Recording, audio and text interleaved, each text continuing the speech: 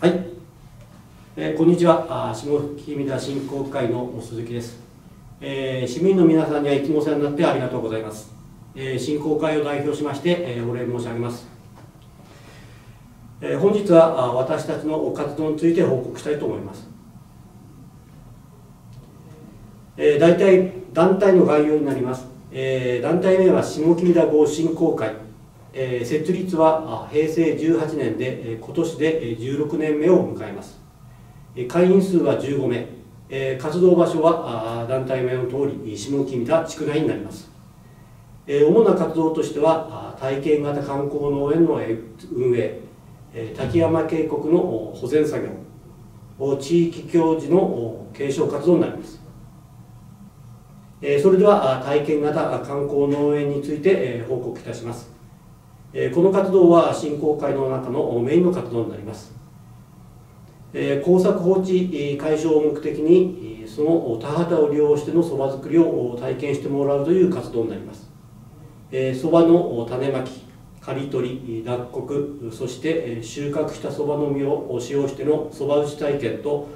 そば作りを通してものづくりの楽しさを実感してもらい最後は自分で手打ちしたそばを食するという人気のある活動です。昨年は18組の方に参加していただきコロナ禍もあり一部縮小しての活動になりましたが大変好評でした。写真左は種まき作業になります。写真右は釜を使用しての刈り取り作業になります。刈り取ったそばはお玉けを行いこの後2週間の天日干しを行います、え次に写真はありませんが天日干ししたそばの実を昔ながらの押し組み式脱穀機を用いて手作業によってそば実を収穫そばの実を収穫します、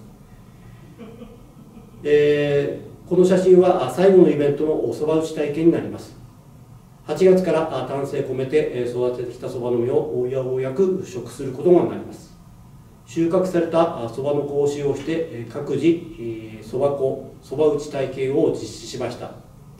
手打ちしたそばはその場で茹でて試食します。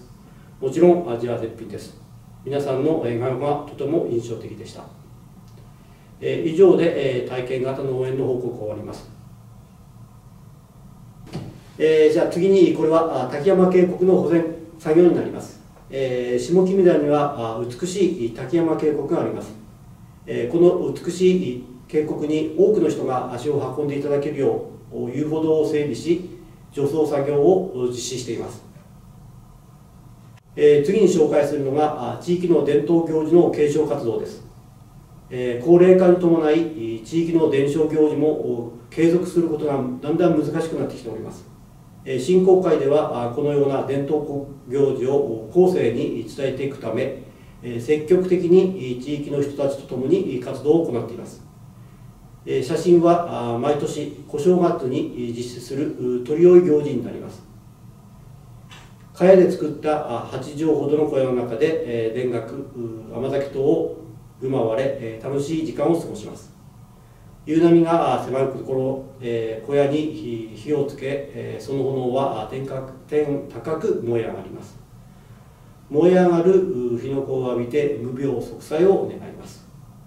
えー、以上が活動になります、えー、最後に、えー、今後の展開になりますが目標としては現状の活動を継続しものづくりの楽しさや達成感を多くの人たちに体験いただくことを目目標としています。また下木村には美しい自然自然があることも皆さんに知っていただくというものこともあります。課題としては高齢化による人材確保になります。できる限り活動が継続できるよう皆で知恵を出し合いながら進めていきたいと思います。以上で報告で終わります。ありがとうございました。